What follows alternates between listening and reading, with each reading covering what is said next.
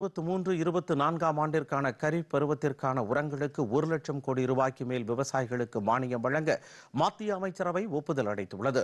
இந்த மானியம் மூலமாக பனிரெண்டு கோடி விவசாயிகள் பயன்பெற வாய்ப்பு உள்ளதாக தெரிவிக்கப்பட்டுள்ளது. புதுதில்லியில் பிரதமர் நரேந்திர மோடி தலைமையில் மத்திய அமைச்சரவை கூட்டம் நேற்று நடைபெற்றது.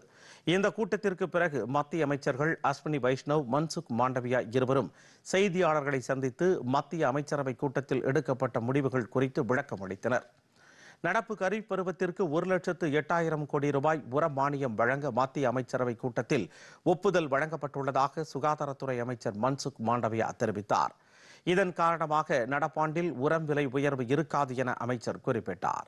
மேலும் சுகாதார ஆராய்ச்சி மற்றும் உலக சுகாதார அமைப்புக்கு இடையேயான புரிந்துணர்வு ஒப்பந்தத்திற்கும் அமைச்சரவை ஒப்புதல் வழங்கியதாக அவர் கூறினார்.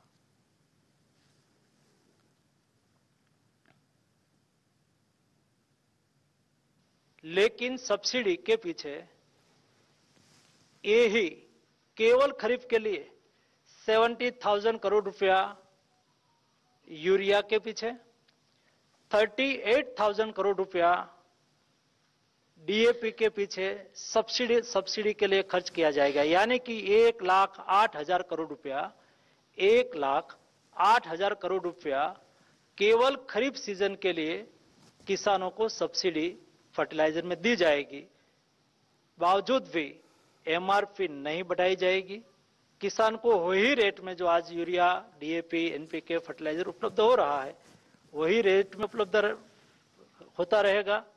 और भारत सरकार एक सीज़न के लिए कुल मिला के एक लाख आठ हज़ार करोड़ रुपया का खर्च करेगी।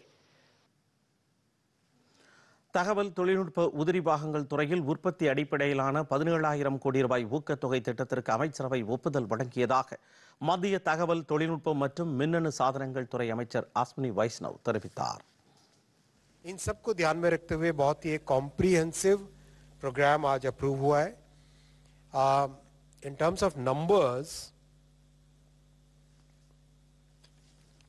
IT PLI में the budgetary outlay is 17,000 crores. The tenure of the program is six years. Expected investment is 2,430 crore. और जैसा आपने टेलीकॉम में देखा पहले साल में 900 करोड़ एक्सपेक्टेड था लेकिन 1600 करोड़ इन्वेस्टमेंट हुआ इसमें भी लग रहा है कि the way things are moving investment जितना हम एक्सपेक्ट कर रहे हैं उससे ज़्यादा ही आएगा